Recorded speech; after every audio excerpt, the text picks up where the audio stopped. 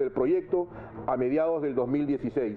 La República Popular China apoya la construcción de la futura sede del Centro de Operaciones de Emergencia Nacional COEN de Perú, cuya primera piedra angular fue colocada este lunes en el distrito limeño de Chorrillos. El embajador Eric Machado, secretario general del Ministerio Peruano de Relaciones Exteriores, rememoró la suscripción del acuerdo firmado en noviembre de 2014 en Beijing, China. Al mismo tiempo expresó, a nombre del gobierno peruano, el profundo reconocimiento por la solidaridad mostrada por el gobierno y el pueblo chino y agradeció el apoyo de un centro especializado para la atención de desastres, el cual será de gran utilidad para el país andino.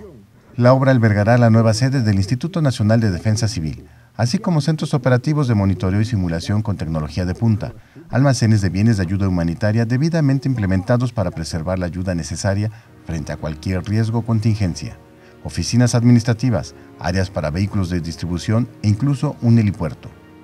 Bueno, es muy importante el tema de la donación china porque nos permite tener una plataforma de gestión como el COEN para poder hacer una atención personalizada de los desastres.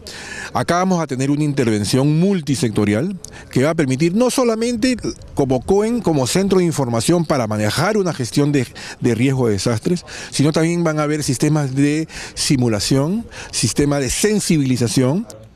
El proyecto se estima en 60 millones de soles, unos 19 millones de dólares, de los cuales el gobierno peruano aportará 5 millones de soles, un millón y medio de dólares.